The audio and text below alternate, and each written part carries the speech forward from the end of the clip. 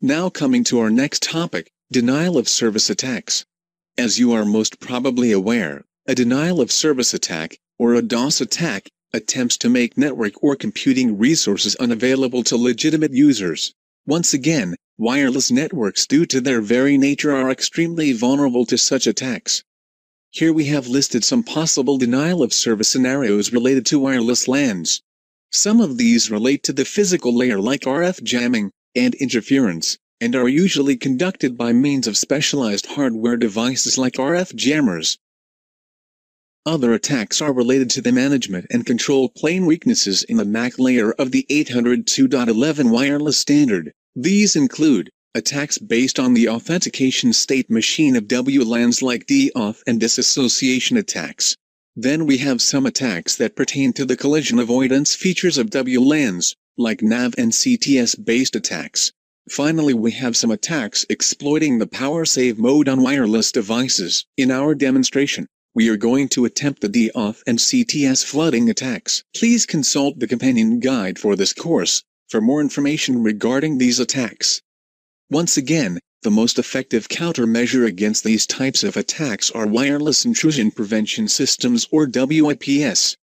Other mechanisms like dynamic frequency selection etc. also exist. Okay, now let's start our demonstration with a CTS flooding attack. As we discussed in the earlier sections, CTS or clear to send frames are used in conjunction with RTS frames to regulate access to the shared wireless medium. When any station wants to transmit data onto the wireless air medium, it sends a RTS frame to the other party, which replies back with a CTS signal, indicating that the medium is clear, and the sending station may transmit data now. These collision management functions are regulated by the AP. Consequently, the AP is going to send a message to all other stations to hold their transmission until the current station is done. However, this means that an attacker can spoof CTS messages with a very high duration value, thereby telling all clients listening to the air medium to hold their transmission. To do this, we have captured a legitimate CTS packet originated from our AP. This packet has a duration value of only 90. Next, we have used a hex editor like Bless, to edit the duration value from 90 to a very high value, that is 32,000.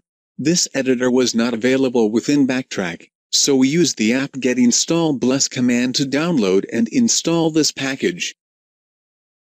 Now we are going to use the WPA supplicant utility to connect to our test Wi-Fi network, currently configured to use WPA and TKIP. Once we are connected, we are going to initiate continuous pings to any arbitrary host on the internet. The network is unreachable, because our test AP does not have internet connectivity. However the important field to note is the ICMP sequence number. As you will see, once we will start the DOS attacks, there will be a gap in the sequence numbers due to lost packets. Once again, we will be using the Air Replay NG tool to conduct both of our attacks. The first attack will be based on the interactive packet replay attack option available in Air Replay NG.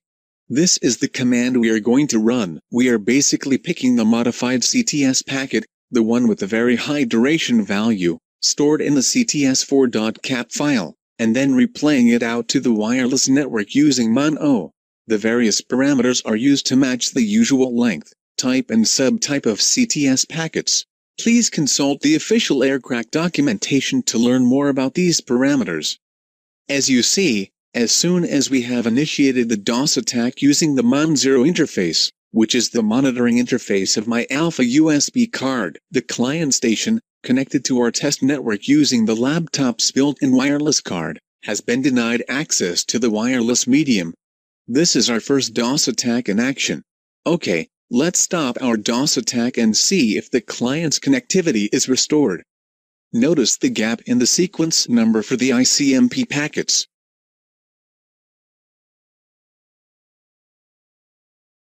Next we are going to look at the DAuth attack. We have already seen this in previous sections. In this case we are running the DAuth attack against a specific client, which is the built-in WLAN 0 interface of our backtrack machine the same interface on which we are running the pings. Once again, the DAuth attack has the same result. the client has lost connectivity. In this section we saw a hands-on demonstration of two kinds of DOS attacks. In the next video we will look at how we can attack the WPS feature available in WLANs.